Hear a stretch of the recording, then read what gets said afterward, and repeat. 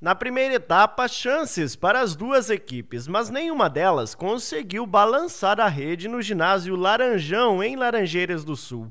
Após o intervalo, em menos de um minuto, Marcelo Bigode marcou o primeiro do time da casa.